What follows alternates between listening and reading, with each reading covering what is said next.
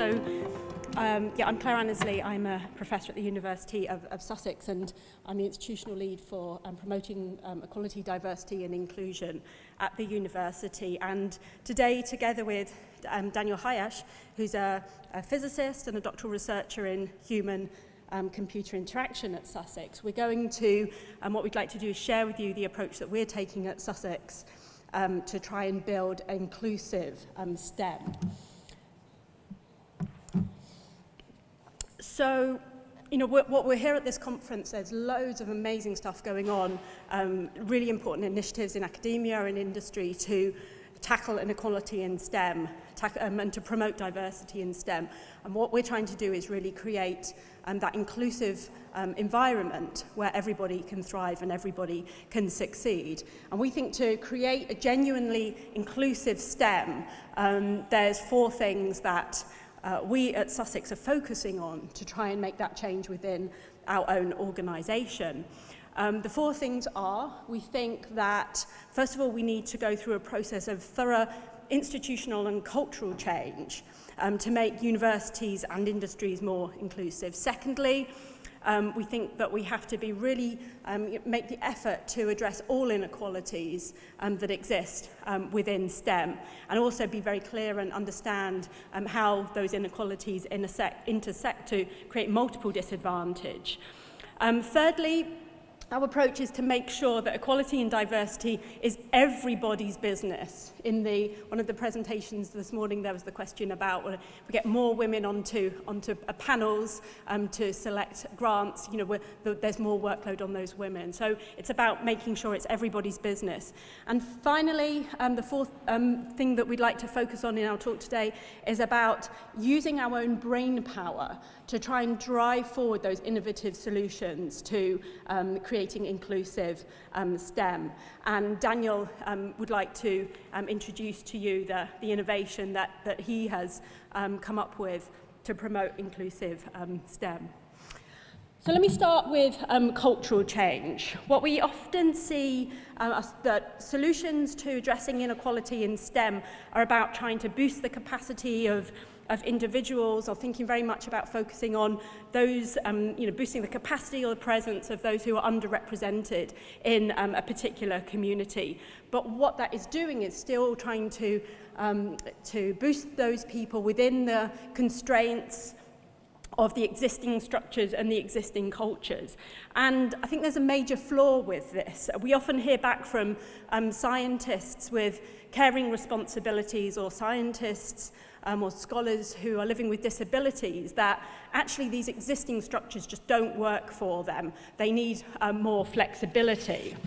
Um, or we hear about, we still hear, and you know this week um, we've had quite a, been conscious of quite a lot of stories that have um, come across my, my Twitter feed about cultures in STEM that are at best um, alienating or exhausting or at worst abusive. And here I'm talking about power structures um, or networks that are dominated by one particular group or cultures of bullying and harassment that um, sometimes come with um, established power dynamics, and I think lots of us in this room are keen to challenge.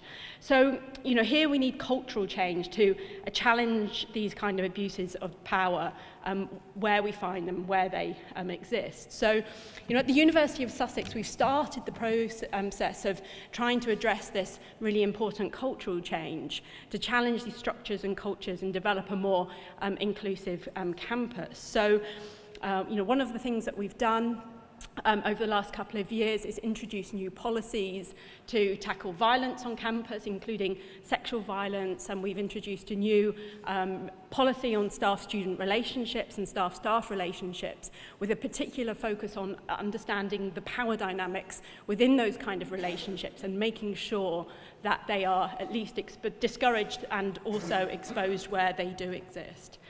Um, and the other thing that we've done, which I wanted to share with you, is um, that we commissioned um, a project called the Changing Universities Culture Project, um, which is led by a Sussex-based um, sociologist called Professor um, Alison Phipps.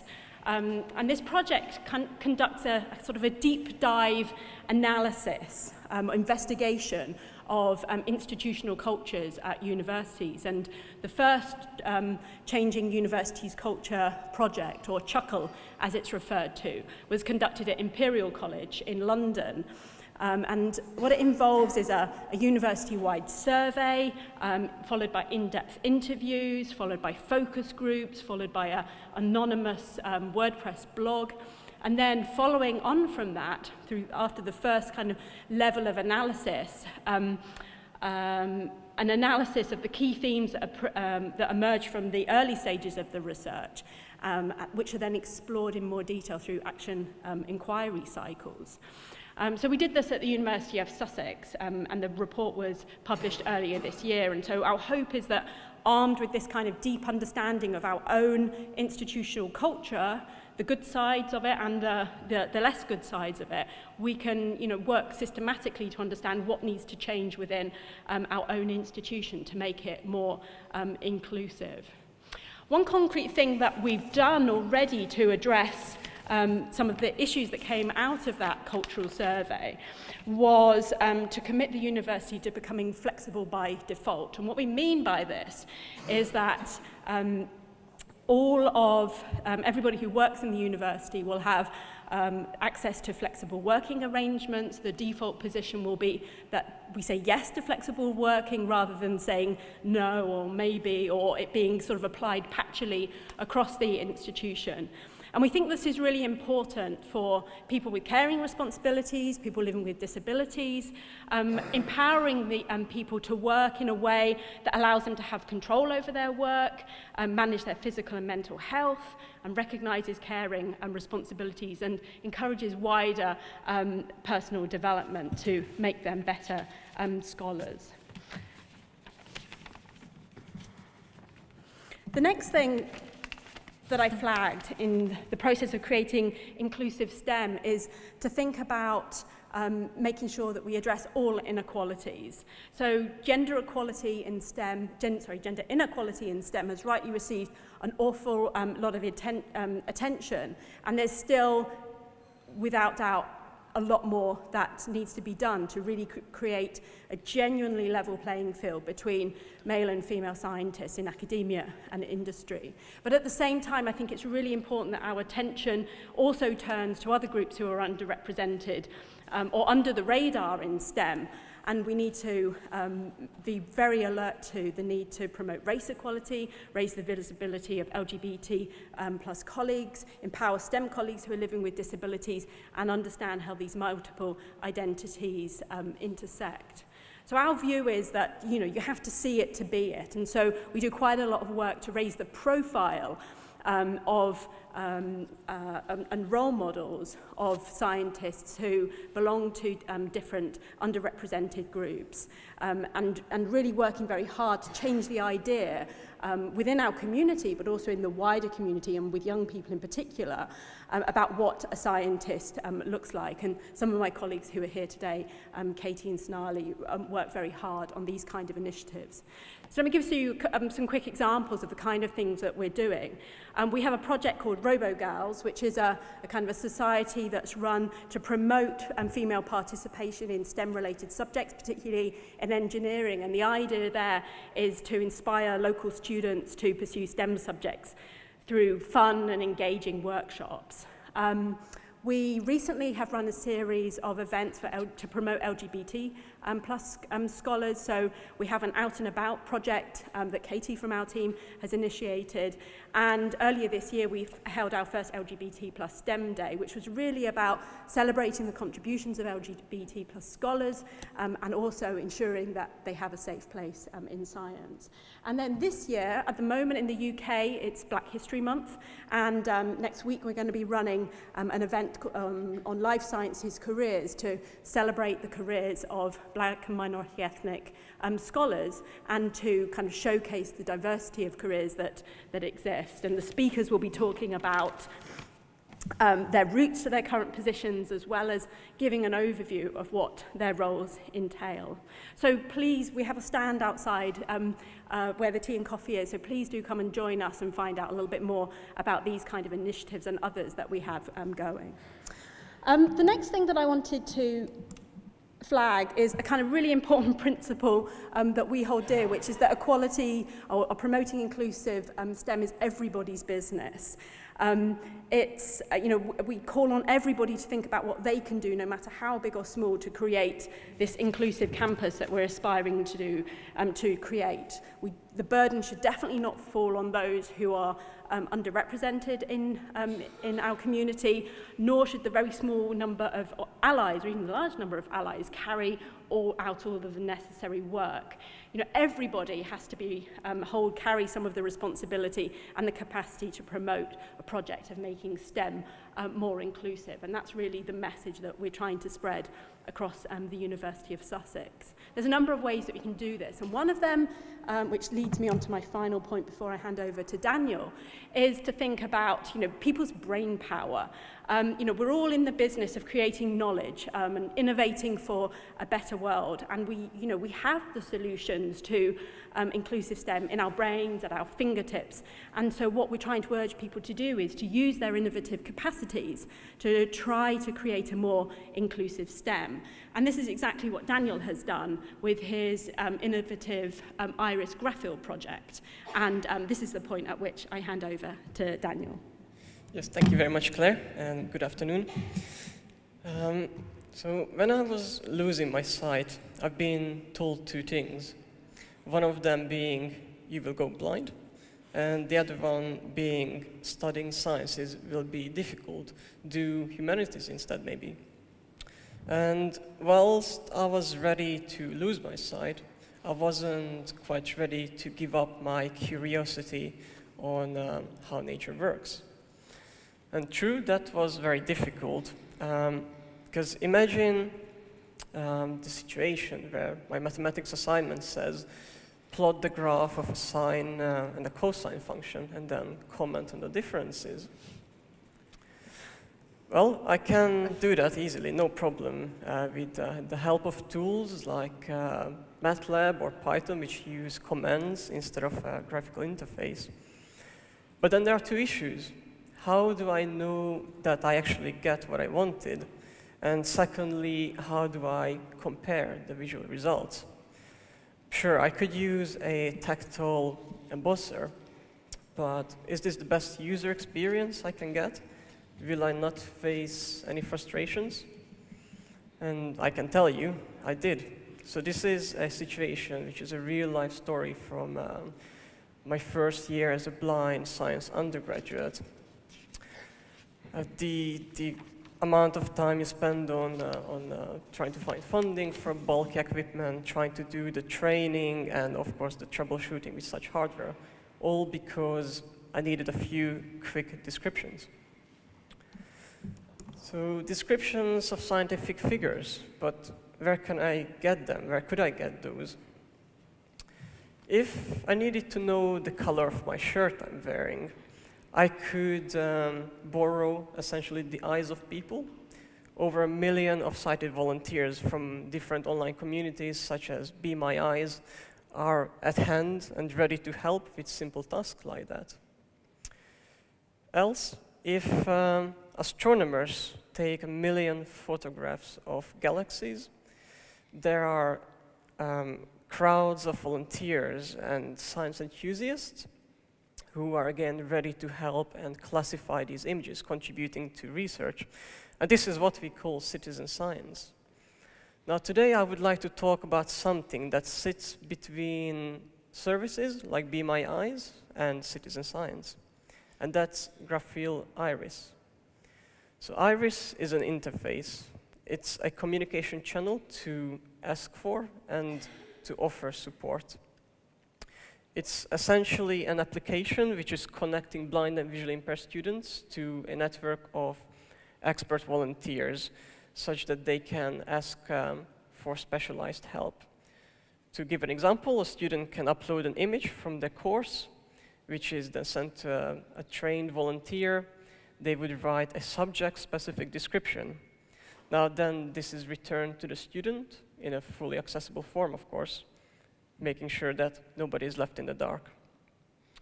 When describing STEM content, it's very important that we have a context behind it. And that's why we need trained volunteers. These are the people who have the necessary skills to set the context and also put them in the right words. So IRIS is ready to start helping people since July this year. And also, this is the time where we need to get um, more feedback on what new features to add and what uh, barriers, what frustrations to remove. So our task is now really to build the community behind uh, Iris who would write the image descriptions. Who is benefiting from Iris? Well, of course, uh, anybody who is curious and has a sight loss, but who should use Iris. Again, uh, visually impaired students, of course, but I also believe that um, an inclusive STEM also means an inclusive community. It's us scientists and researchers and academics who should provide the tools to uh, welcome people with a diverse set of abilities. It's not the students like myself or the library support workers who should um, ask for adoptions all the time. It's the schools, it's the publishers, it's the online course providers who should make um, on-demand accessibility out of the box. So how do we actually recruit this community? We know that digital recruitment is not effective enough. We need ambassadors who act as role models of image describers and who can engage with their local community to join the IRIS community. And, um, excuse me. And uh, basically, the uh, stand we, Claire mentioned outside, uh, we set up um, iPads where the Grapheel Iris is already loaded on it. So we invite everybody to spend just a couple of minutes of time and see yourself how easy it is to upload an image and then write yourself an image description. So you can see that with just a few minutes of support, there are a few hours of frustrations that we can uh, possibly avoid. And of course, the larger the community, the less work it will be for members to to um, support the people who need it. So if you are uh, liking what uh, we are proposing there, if you like the actual project, we would be very keen to welcome people and commit um, as an ambassador just by giving your name, your contact details, so we can start on individual basis, work out what, what's the best uh, strategy for different organizations, different schools to bring this community together and also to help their students. So in a nutshell, with your help, our vision can become a shared vision. And just to summarize, how do we envisage building an inclusive uh, um, STEM? Well, as Claire said, through considering all inequalities, and through striving for cultural change. A culture where the STEM community, not the disabled community, not the women, not the LGBT community, not the academics only, but the entire STEM community says it's everyone's. It's our business. A culture where we can use our brain power and innovation to provide support for each other. And there are and there will be other projects to achieve this. But today, I would like to invite you to uh, try Iris, to share your eyesight, to share your brain power, to spread the word in your local community and beyond, and to share our vision. And with this, I thank you for your attention, and of course, we take any questions. Thank you very much. thank you, that was wonderful. Other, we'll ask for questions, and by the time the microphone gets, I just want to say one thing. So you started with this idea of cultural change, and I thought, oh, these people, they want to change the world. and you got to a point where you actually practically have changed the world for those people who use this program. So it's a like the best metaphor. But yes, well, I like to. I, I, usually like to say that I don't want to, or we don't want to change the whole world. You know, yes. just only a part of it, and that's enough. Well, that's uh, that's the whole world to some people, though. That's incredible. And I, and I, I mean, Yes. you're right. I think it's really important. If you have a big vision of cultural change, you have to think about the very small or very concrete things that you can change along the way. Yeah. And just to give a really kind of very simple and often seems kind of quite a petty example at the University of Sussex, we have a massive problem with parking. It's a small campus, there's too many cars. And people with caring responsibilities, they would drop their kids at school. By the time they got to campus, there would be no parking left for them. And this was kind of really disruptive, really stressful. And so we created a pool of parking spaces that were reserved for these particular colleagues. And you know, it's one of the things that we've done that has created the most positive feedback. So we're always looking for the quick wins, low-hanging fruit, you know, and the, the, the really innovative projects as well as um, as small steps towards changing the bigger culture. And it's evidence that it works too. I mean, it's proof positive kind of thing. I do like that. Have we got any questions?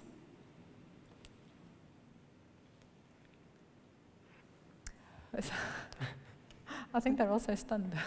Well, otherwise have- they, we can spend this time, they can come and sign up. uh, Oh, yeah, true. So there is a, Instead of asking oh, we have two questions. No, I think it's one there, and then next to that, yes. Okay, thanks. Just, you know, thank you for the presentation. I- I'm really intrigued with this. It's just, you know, it just uh, opens the world for so many people. But uh, in terms of, what are the blockers in terms of financials and, you know, funding models for this? It sounds like it's a very expensive area to go to. So is this something that we need to put extra support or help in as, as, a, as a, you know, as, you know, as, a, as a community and society?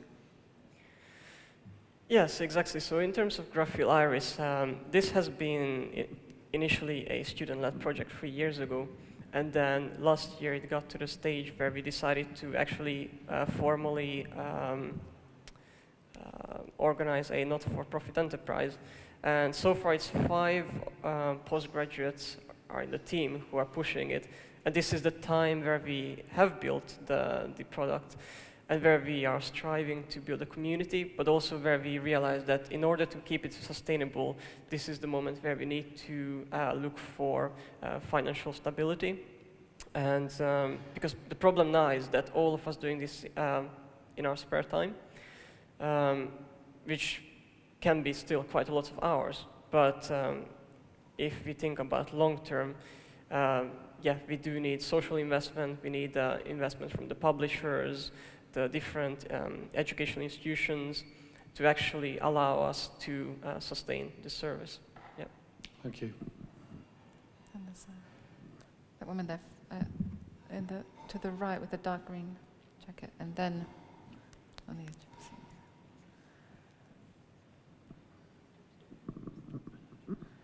Hi, thanks very much. I'm Anne Webb. I'm from uh, the Natural Sciences and Engineering Research Council in Canada.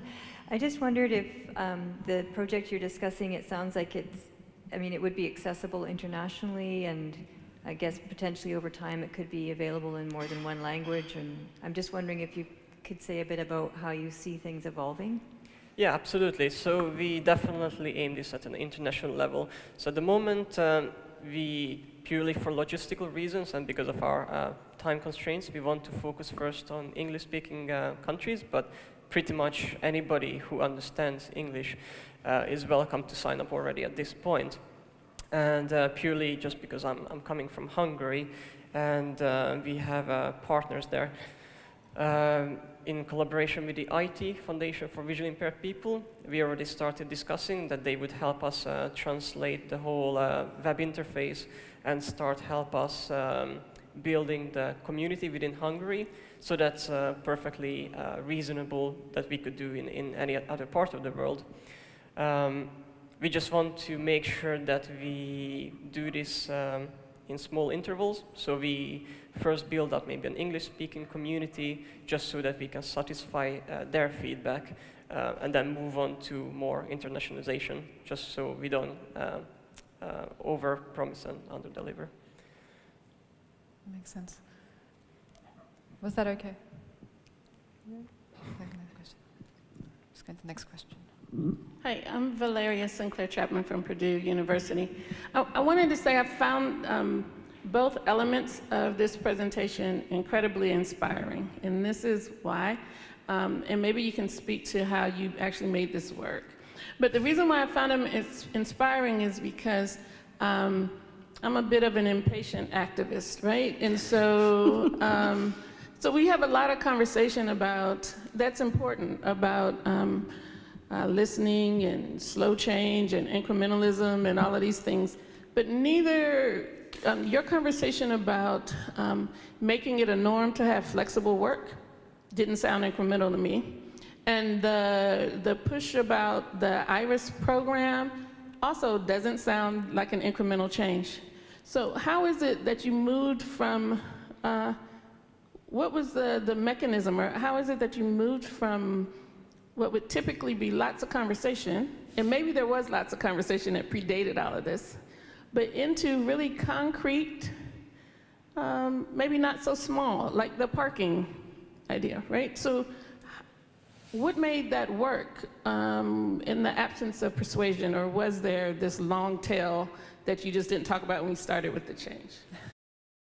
It's a really, really good question because I very often find myself charting a course between, um, you know, lots of people who are very impatient for change, um, which feels like it's a very long time coming, and a very you know, big hope for the type of change that we can, and then making sure that we're delivering on the way as we go. I think the change that happened was um, about two years ago, um, we had a new Vice Chancellor appointing to the University um, of Sussex. One of the first things that he did was tackle um, a big um, kind of controversial issue around um, uh, that had happened on campus around um, a violent staff-student relationship um, and he was very open about um, you know, looking at that and, and wanting to address that. So there was a kind of an appetite for change. Um, he created a new post, which was my post, as Deputy Pro Vice Chancellor for Equality and Diversity. And the, one of the first things that I did in that role was um, try to kind of lobby for some resources around me so that I could have a team. Um, the lady sitting two seats in front of you is, is part of that team. And you don't want to mess with Nicola.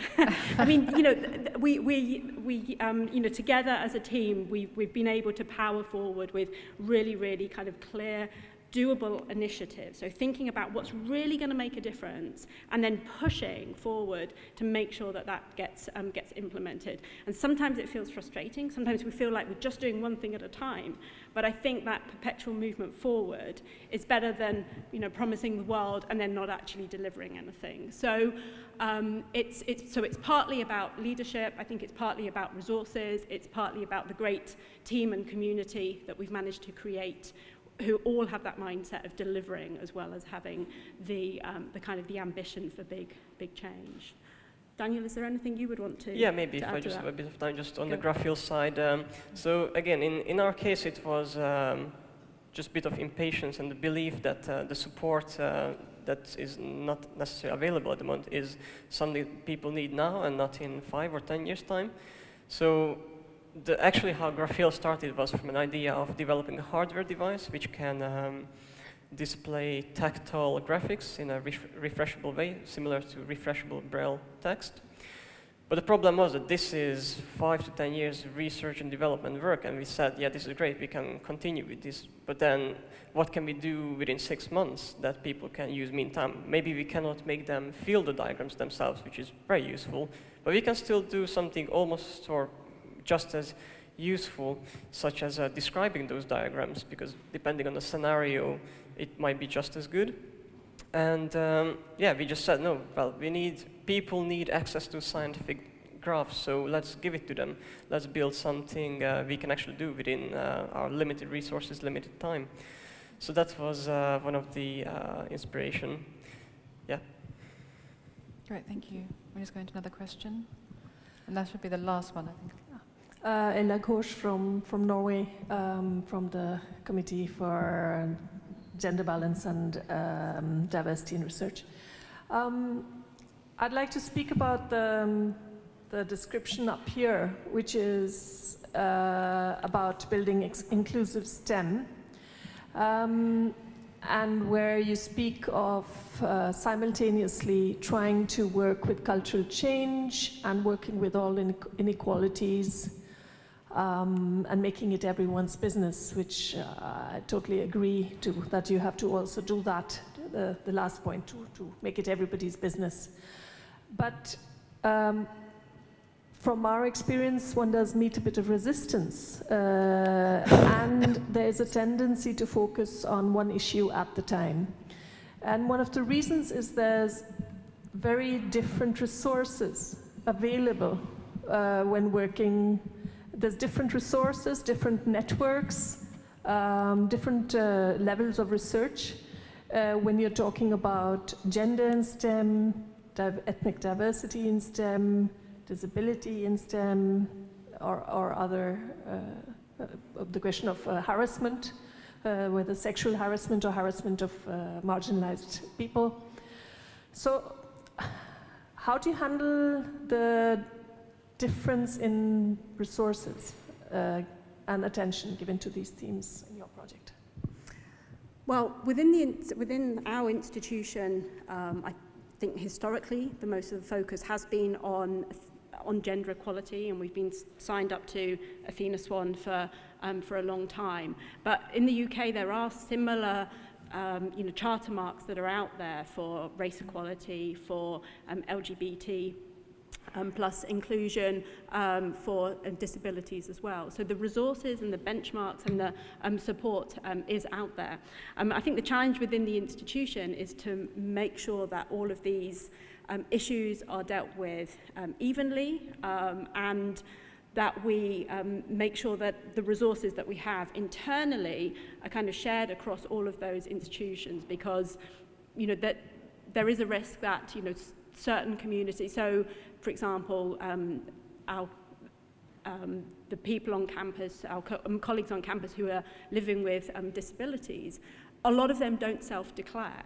And so we don't actually know about them. So we don't actually know what kind of um, resource is there, although we know that there's a lot of um, uh, um, dissatisfaction amongst that community. So it's about making sure that we listen to the kind of silent voices as well as to um, the louder voices and making sure that we um, share those qualities. And then using the external accreditation and the external schemes to help structure our work and, and, and um, monitor our progress. Thank you. That was, thank you. Thank you. That was very good. Um, I think that's it. We're going to have to move on to our next speaker. But thank you very much. That was very helpful. You want to help them?